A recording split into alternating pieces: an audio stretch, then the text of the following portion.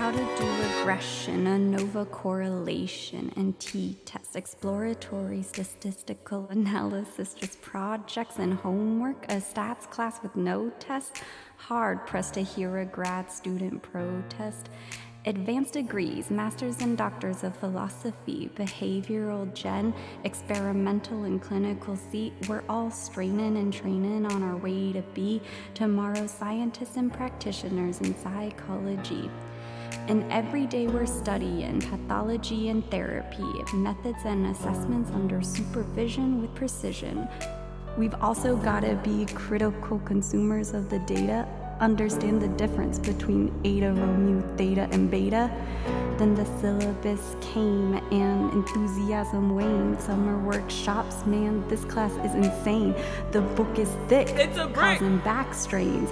So much R code to retain concentration down the drain. But we all looked around like this is such a shame. Then you hear your undergrad mentor saying, further your education, go off and study the brain. And it's just another class you've got to attain. What's the class again? Psych 600 stats 1. The class is Psych 600 stats 1. And there's a million things we hadn't done.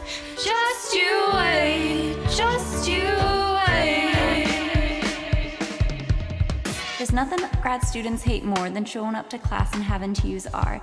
They pulled up their SPSS packages in shock, their licenses are expired and their data's on lock. Download Studio, find the packages to load in. Uh oh, but little do they know that their projects, t-test, regression, and ANOVA, teaching them all the R code they gotta know for their Work, work, Regression, work, work. ANOVA,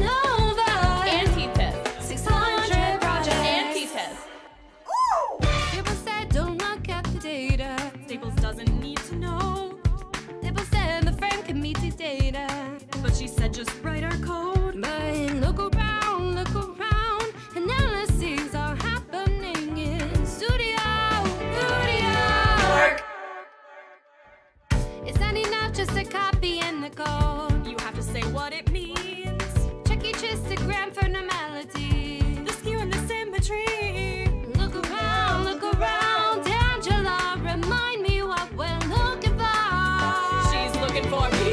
Angela, I'm looking for what's important. Not just lesson O, but work. I'm looking for that effect size. Important.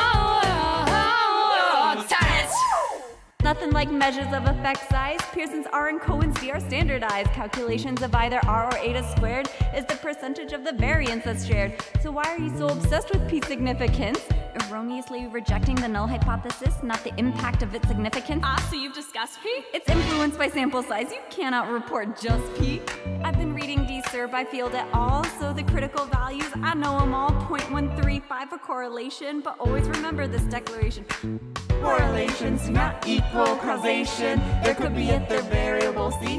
Without direct manipulation, the relationship has unknown directionality. You took stats, and now you see that it's not as bad as you thought it'd be. You took stats, time will tell. You'll see 600 will have served you well.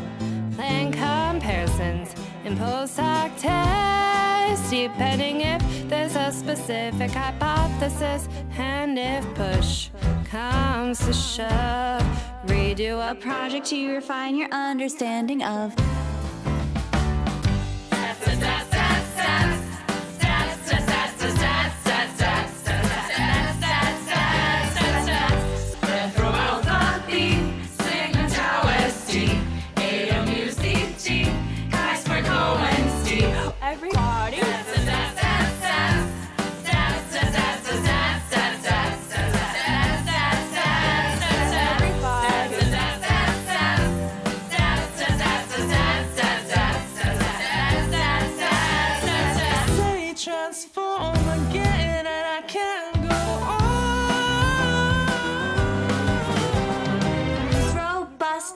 bootstrap and move along.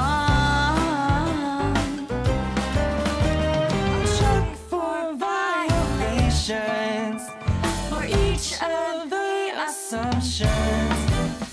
Many, many assumptions with graphs and statistics. Linearity, homogeneity, and independence.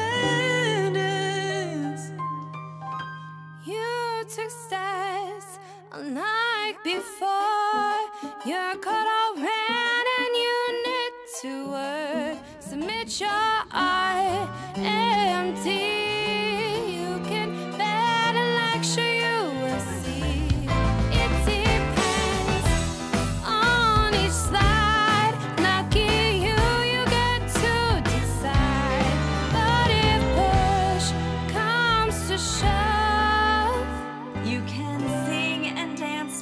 musical parody to convince her of your love for